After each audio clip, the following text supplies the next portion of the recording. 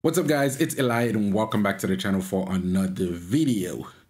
In today's video, we're going to be talking about the newly released AI-powered stem separation by PreSonus Studio One version 7, and we're going to be comparing that against Logic's very own AI-powered stem separation. This is actually the second time that I am filming this video, so hopefully everything goes well and I don't have to record it again. Wish me luck. Fairly recently, just about a week ago, PreSonus decided to release Studio One version 7. And of course, with every new release, there's gonna be some features that controls the conversation. And to no one's surprise, that is the AI-powered stem separation for Studio One. But how does that compare to Logic's very own AI-powered stem separation? Let's find out. For this video, we're gonna be focusing on three aspects of this AI-powered stem separation from both of these DAWs. First, we're going to take a look at how fast can they separate the stems. Secondly, we're going to take a look at how they handle the stems once they finish processing them, meaning like how are they organizing them. And lastly, we're to take a look at how they sound. Without any further ado, let's jump into the computer and let's see how the stem separation stands against each other. All right, so we're gonna start off with Studio One as it is the new kid on the block with the AI powered stem separation. So um, we're gonna go through it first, and then we're gonna take a look at how Logic handles it and see which one wins in each category. For this comparison, we're gonna be taking a look at the exact same song that I used on last week's video. If you have not seen that video, be sure to check it out. It's gonna be linked down in the description. This song is a Creole song, compa. It's called Mapre Tranquille produced by yours truly. All right, so now let's jump right in and let's see how long it takes for Studio One to separate the stems. To access stem separation in Studio One, there's a couple ways you can do that, uh, but the easiest way is to just hit Command U, and it brings up the dialog box. And of course, we're just gonna say okay. And now Studio One is gonna be doing its thing. So let's see how long it actually takes to process the stem separation. All right, it seems to be doing its thing and it has about 20 seconds remaining and uh, it's still going. Still going. Still going. All right, and with that, the stem separation is done. Let me zoom out here real quick. Okay, so we have all our parts. We have vocals, drums, bass, and other. Others, all the other instruments. I think it took quite a long time to actually get this done, but you know, it wasn't too crazy long. So, um, but let's see how they handled the organization. For the stem management, it looks like Studio One created a folder to handle the stems. So if you need to, if you need to minimize it so you can get it out of the way, you can do that and you can expand it so you can see what you're working with. And if we jump over to the mixer, it looks like it is a bus style folder, so you can actually do some processing on this if you needed to. Now let's jump in and see what each stem sounds like. And then of course, we're gonna compare that against Logic. Starting with the vocals.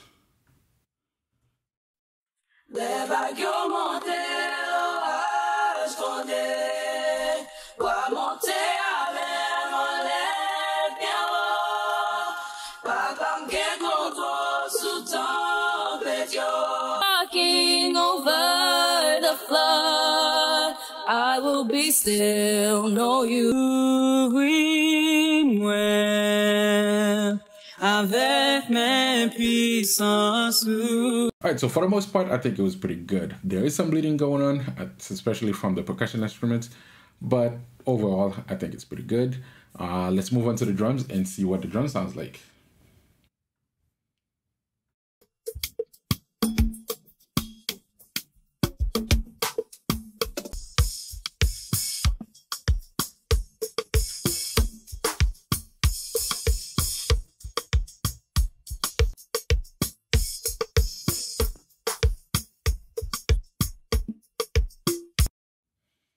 Overall very usable i would actually sample this and actually use those drums if i needed to but they are not the cleanest um, but not really not nothing major wrong with them there is some type of flanger effect going on But overall, I think I would actually use those if I needed to. Um, let's see what the bass sounds like.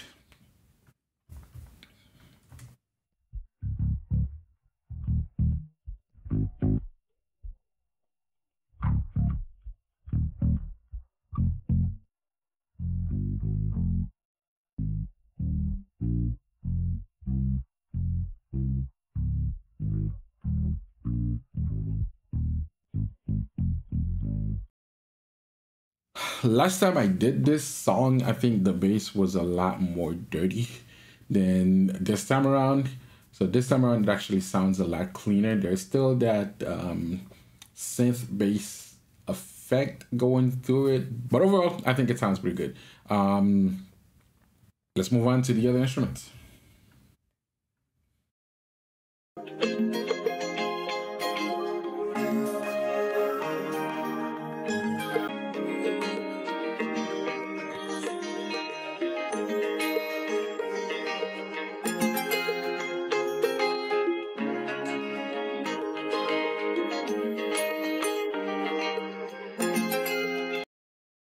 All right, so for the other instruments, there is a lot of bleeding through, especially from the percussion instruments.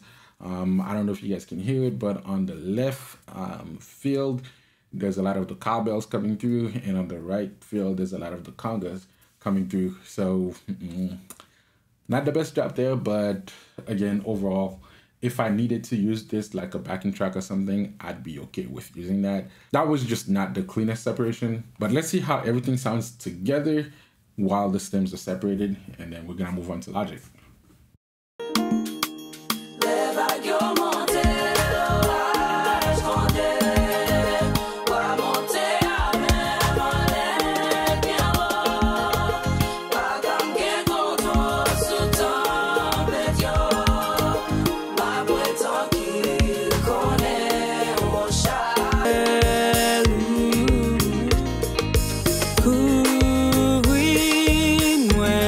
Right, so with all the stems separated, it sounds exactly like the original mix. Um, no complaints there. Um, so I'm not sure what's going on with the actual separated stems, but when you play everything together, it sounds good. So moving on to Logic, let's see how Logic handles the stem separation. All right, so now we have Logic opened up and we have our song loaded up. Let's see how it handles stem separation and let's see how it compares to Studio One and of course, the sonic qualities. Let's see which one does it better. All right, let's jump right into it. Stem separation with logic.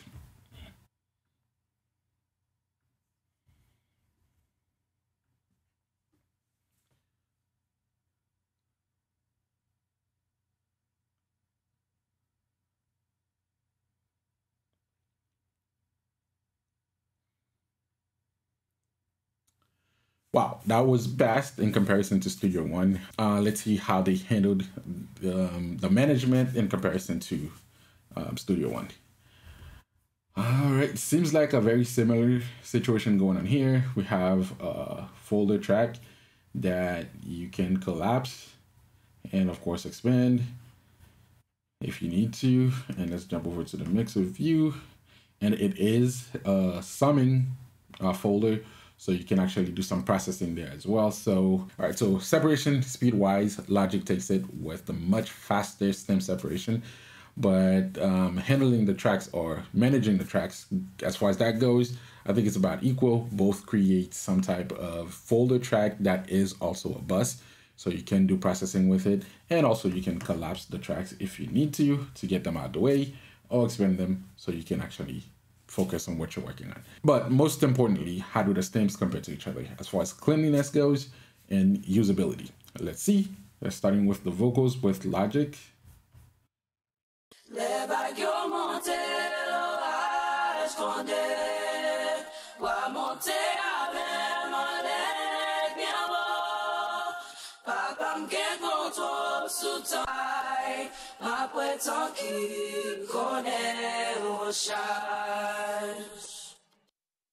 All right, very much like Studio One, there's some type of bleeding going on through the vocals. However, the Logic version is a lot cleaner.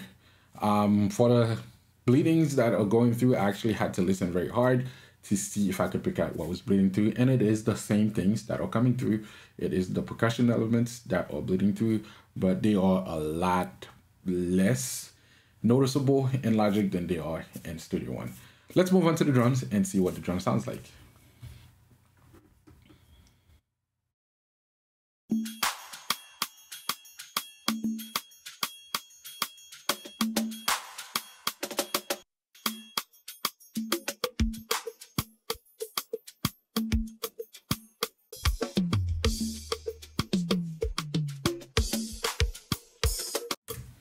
No surprise, the drums are a lot cleaner here as well. Um, there's still that little bit of a flanger effect going on, but just like the vocals, they are a lot less noticeable in comparison to how Studio One handled it. But in any ways, in any case, I would be using both of them if I needed to. Either one I think would are clean enough to use if I needed to sample those drums and use on something else. I would be okay with that. But if I had my choice, I would definitely go with the Logic version. Uh, let's move on to the bass and see what the bass sounds like.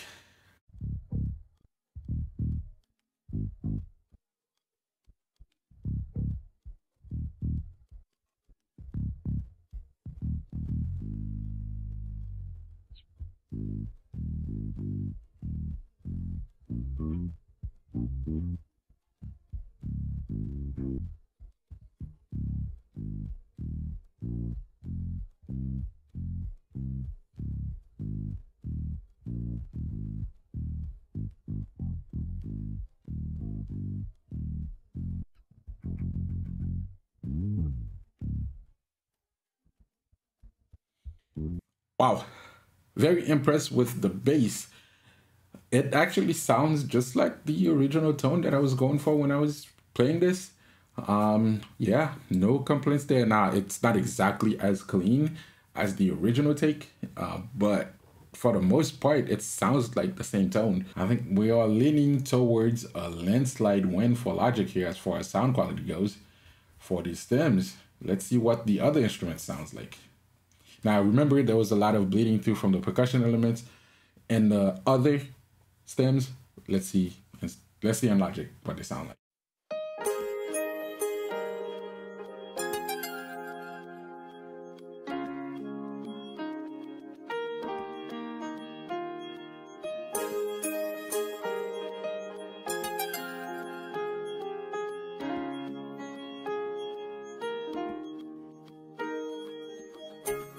All right, so there was a few spots that I could hear some percussion elements, and there's some spot that I could actually hear some of the vocals bleeding through on this one.